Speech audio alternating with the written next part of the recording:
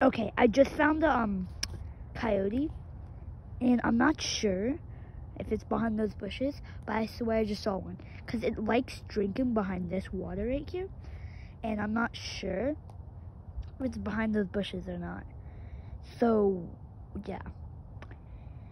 If you want to see part two of this video, just like and subscribe, and I'll see you guys later. See ya.